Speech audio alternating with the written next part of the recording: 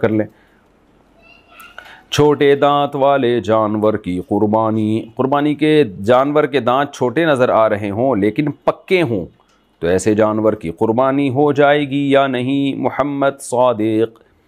جناب محمد صادق صاحب، اتنا چھوٹا جان یعنی جانور کی عمر دیکھی جاتی ہے، دانت نہیں دیکھے جاتے، خوب سمجھ لیں۔ دانت تو ایک ظاہری علامت ہے، کیونکہ پتہ نہیں ہوتا بیوپاری سچ بول رہا ہے، جھوٹ بول رہا ہے۔ تو اصل میں یہ دیکھا جائے گا کہ بکرا پچھلے سال بقرعید سے پہلے پیدا ہو گیا ہو۔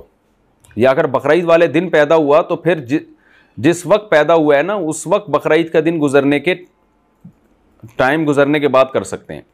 مثال کے طور پر ایک بکرا پیدا ہوا پچھلے سال بقرعید میں ظہر کے وقت یا دوپہر دو بجے پیدا ہوا۔ تو اب اس سال بقرعید میں دو بجے وہ ایک سال کا ہوگا۔ تو آپ اس کو سوا دو بجے تو کاٹ سکتے ہیں، دو بجے سے پہلے نہیں کاٹ سکتے۔ تو پچھلے سال بقرعید کے دوسرے دن پیدا ہوا۔ تو دوسرے دن یعنی تیسرے دن آپ اس کو کاٹ سکتے ہیں۔ یعنی سال کا ہونا، اسلامی لحاظ سے سال کا ہونا ضروری ہے۔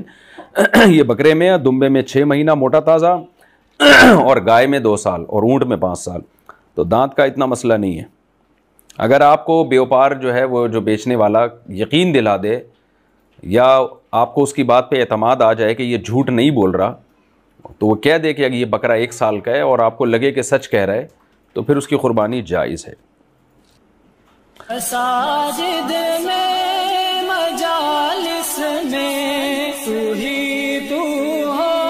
میرے دل میں، میرا رو